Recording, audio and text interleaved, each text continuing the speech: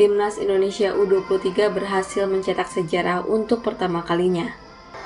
Skuad Garuda Muda sukses melaju ke Piala Asia U23 2024 yang akan digelar di Qatar pada 15 April hingga 3 Mei tahun depan.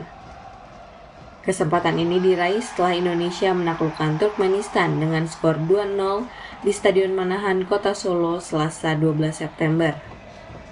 Dua gol Indonesia dicetak oleh Ivar Jenner pada menit ke-41 dan Pratama Arhan di masa injury time babak kedua.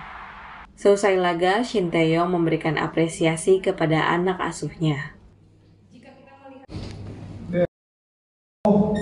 우리 선수들 승리했기 때문에 어, 축하해준다고 얘기해 주시고 너무나 우리 모든 선수가 너무나 잘 준비했고 잘 싸워줬고 어, 원하는 대로 경기를 만들어가서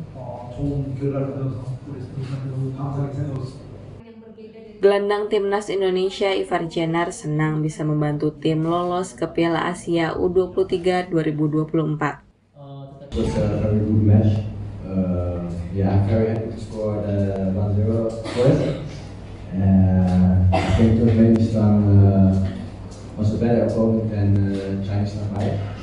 But we, uh, we showed good game, so uh, we were happy. Kemenangan atas Turkmenistan membuat Indonesia lolos ke Piala Asia U23 2024 sebagai juara grup K.